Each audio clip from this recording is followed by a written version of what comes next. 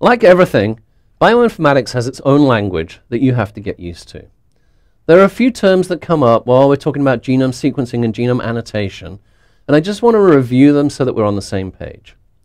The first one is open reading frame. An open reading frame is basically a stretch of DNA that can be translated, so converted to proteins, without a stop codon.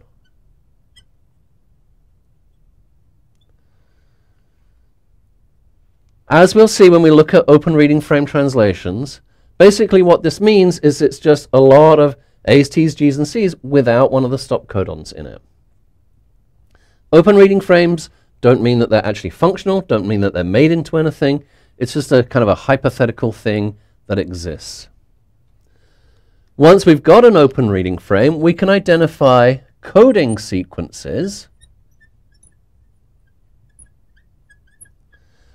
that are sometimes called CDS, and a more specific version of CDS is the PEG, or protein encoding gene. A coding sequence could be an RNA or a tRNA, but a protein encoding gene specifically means that it encodes proteins and not RNAs or tRNAs. And so these are regions of the genome that are actively transcribed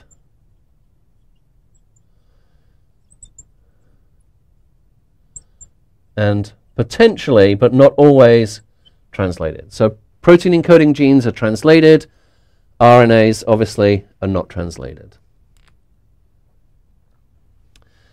Uh, we talk about hypothetical or perhaps putative proteins. And this is a phrase that drives everybody quite crazy. Basically what this means is that we've got a protein encoding gene, but it has not not been experimentally proven.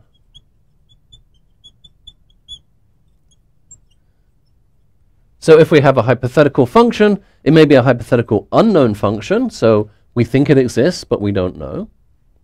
Or it may be a hypothetical function where we actually think we know what the function is, but because we haven't experimentally proven it, we've still decided to give it the word putative or hypothetical.